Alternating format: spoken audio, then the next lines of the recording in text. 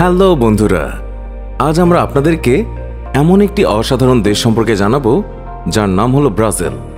Brazil এমন একটি দেশ, যার নাম শোনেননি এমন মানুষ সম্ভবত এই পৃথিবীতেই নেই। সারা পৃথিবীতে সবচেয়ে বড় দেশের তালিকায় ব্রাজিল পাঁচ নম্বরে রয়েছে। আর এই দেশের আয়তন পঁচাশি লাখ পনেরো হাজার স্কোয়ার কিলোমিটার।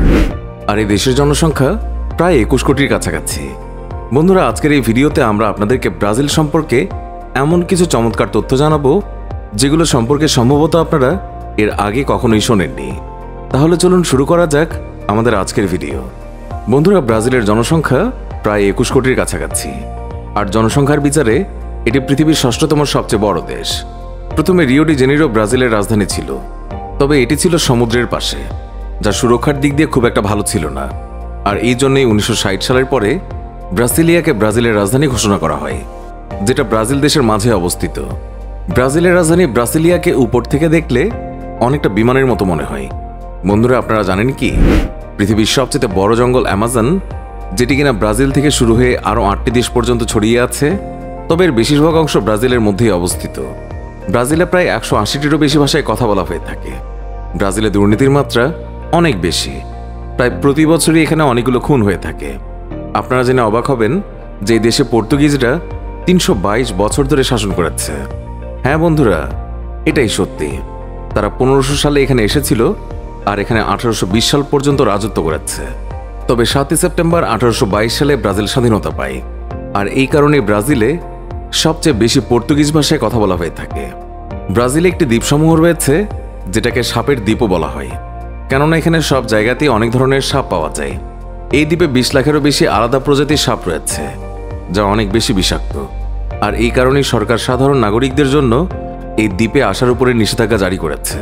শুধুমাত্র বিজ্ঞানী এবং গবেষকরাই এই জায়গায় যেতে পারে। বানরের সবচেয়ে বেশি প্রজাতিও ব্রাজিলে দেখতে পাওয়া যায়।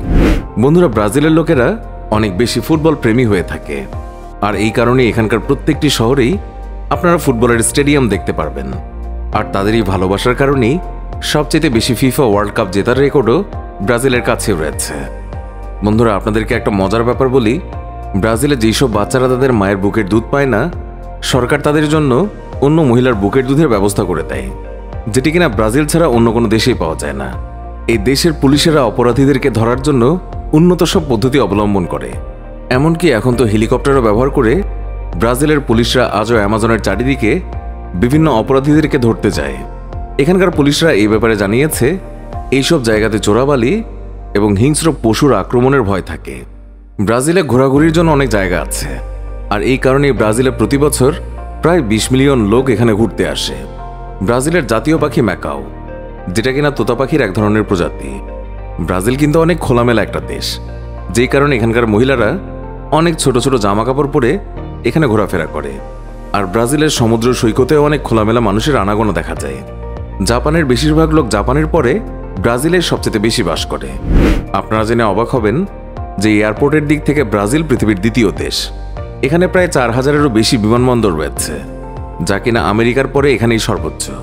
বন্ধুরা, আপনারা জেনে অবাক হবেন যে দুই হাজার আট সালের পর থেকে লিঙ্গ পরিবর্তনের সার্জারি ব্রাজিলের সরকার এখানে পুরোপুরি ফ্রি করে দিয়েছে, যার পুরো খরচ এখানকার সরকার বহন করবে।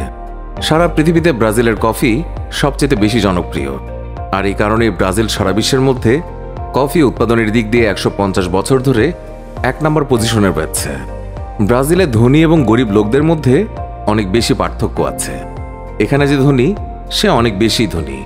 আর যে গরিব, তার কাছে কিছুই নেই। আর এই জন্যই বিশ্বের ধনীর তালিকায় ব্রাজিল নয় নম্বরে আছে। ব্রাজিলে অ্যামাজন এলাকায় সত্তর ধরনের প্রজাতির দেখা পাওয়া যায়। এদের সাথে বাইরের পৃথিবীর কোনো সম্পর্ক থাকে না। এবং তারা আজও বন্য জীবনযাপন করে। ব্রাজিলে এক ধরনের পানীয় পাওয়া যায় যেটা আখের রস, লেবুর রস এবং বরফের সাথে মিশিয়ে পান করা হয়। যদিও ব্রাজিল উত্তর আমেরিকার দেশ, তবে ব্রাজিলের চুয়াল্লিশ শতাংশ জনসংখ্যা ইউরোপিয়ান। ব্রাজিলের সর্বোচ্চ পর্বত হল পিকোদা নেবেলিনা এবং এর উচ্চতা দুই হাজার নয়শো চুরানব্বই মিটার। ব্রাজিলের প্রাতিষ্ঠানিক জন্মদিন সাতই সেপ্টেম্বর আঠারোশো বাইশ। যখন প্রিন্স পেদ্রো আবারও পর্তুগালে ফিরে যাওয়ার ব্যাপারে সে মানা করে দিয়েছিল।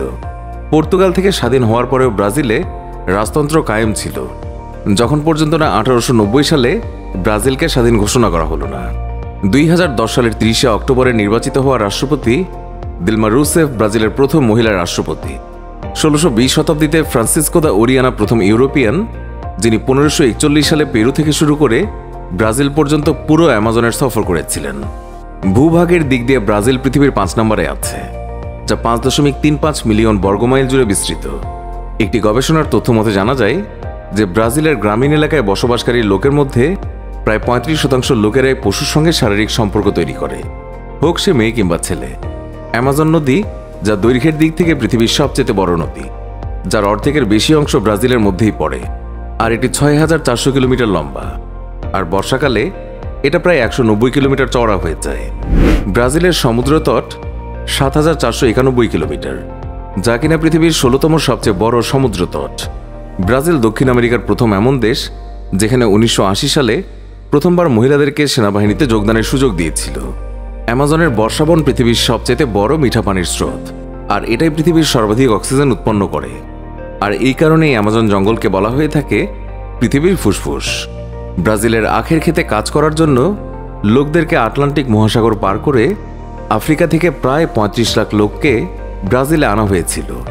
যারা কিনা প্রায় তিন দশক ধরে এখানেই চাকরের মতো কাজ করেছে। ব্রাজিল আঠারোশো সাতাত্তর থেকে শুরু করে আঠারোশো নব্বই পর্যন্ত ভয়ঙ্কর রকম খরায় জর্জরিত ছিল। আর এটাই পৃথিবীর সবচেয়ে ভয়ঙ্কর খরা ছিল, যেখানে পাঁচ লাখ মানুষ তাদের জীবন হারিয়েছে। দুই হাজার পনেরো সালের তথ্য অনুসারে, জিডিপির দিক দিয়ে ব্রাজিলের অর্থব্যবস্থা পৃথিবীর সপ্তম স্থানে রয়েছে।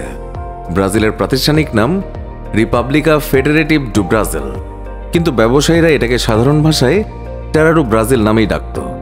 ব্রাজিলের সীমান্ত চিলি এবং ইকুয়েডরকে ছেড়ে সাউথ আমেরিকার সবগুলো দেশের সাথে মিলিত হয়। ব্রাজিলের রাজধানী ব্রাসিলিয়াকে মাত্র একচল্লিশ মাসের মধ্যে বানিয়ে তৈরি করে ফেলা হয়েছে। বন্ধুরা, ক্রয়েস দি রিডিমা স্ট্যাচু ব্রাজিলের রিয়েডি জেনেরো শহরে অবস্থিত, যেটি ইসামাসের পৃথিবীর সবচেয়ে বড় মূর্তি, আর এটি পৃথিবীর সপ্তম আশ্চর্যের মধ্যে অন্যতম। এর উচ্চতা একশো বিশ ফুট আর আটান্ন ফুট চওড়া, আর এর ওজন ছয়শো পঁয়ত্রিশ টনেরও বেশি। আর এটি সম্পূর্ণ তৈরি হতে পাঁচ বছর সময় লেগেছিল। ব্রাজিলে যে বিরানব্বই শতাংশ কার বিক্রি করা হয়, তার ফিউলের জন্য যে জিনিসটি ব্যবহার করা হয়, সেটি আখের তৈরি হয়ে থাকে। বন্ধুরা আখ চাষের দিক থেকে কোনো দেশই ব্রাজিলের সাথে মোকাবেলা করার সুযোগ পাবে না। কেননা সারা পৃথিবীতে একমাত্র ব্রাজিলেই সবচেয়ে বেশি আখের চাষ করা হয়। আর আখ চাষের দিক থেকে দ্বিতীয় স্থানে রয়েছে ভারত। আর কৃষকেরা এখানে চাষের ক্ষেত্রে প্রথমেই পছন্দ করে থাকে আখ চাষকে। কেননা আখ চাষে অনেক বেশি লাভ করা যায়। ব্রাজিলের অর্ধেকেরও বেশি অংশ জঙ্গলে ঘেরা। আর জঙ্গল উজাড়ের দিক দিয়েও ইন্দোনেশিয়ার পরে ব্রাজিলের নামই আসে। ব্রাজিলের কয়েদিদেরকে এক ধরনের সাইকেল চালাতে দেয়া হয়, যেটা চালানোর মাধ্যমে ইলেকট্রিসিটি উৎপাদন হয়ে থাকে। আর এই বিদ্যুৎকে আশেপাশের গ্রামে পৌঁছানো হয়। আর এই কাজের মাধ্যমে তাদের শাস্তির মেয়াদও কিছুটা কমিয়ে দেওয়া হয়। তো বন্ধুরা, এই ছিল ব্রাজিল দেশ সম্পর্কে কিছু চমৎকার তথ্য। আপনাদের ব্রাজিলের ব্যাপারে কোন জিনিসটি সবচেয়ে বেশি ভালো কিংবা সবচেয়ে বেশি মন্দ লেগেছে, সেটা অবশ্যই আমাদেরকে কমেন্ট করে জানাবেন। তো এই ছিল আজকের ভিডিও। আশা করছি আপনাদের সবার এই ভিডিওটি ভালো লেগেছে। তাহলে অবশ্যই লাইক দিন, কমেন্ট করুন এবং শেয়ার করতে ভুলবেন না। আর আজই প্রথম চ্যানেলে ভিজিট করে থাকলে আমাদের চ্যানেলটি সাবস্ক্রাইব করে পাশে থাকা বেল আইকনটি ক্লিক করুন। এতে করে আমাদের নতুন ভিডিও পাবলিশ হওয়া মাত্রই ওই ভিডিওর নোটিফিকেশন আপনার কাছে পৌঁছাবে। তো বন্ধুরা, আজকের মতো এখানেই শেষ করছি। কথা হবে পরের ভিডিওতে। ততক্ষণ সুস্থ থাকুন, ভালো থাকুন, আর আমাদের চ্যানেলের সাথেই থাকুন।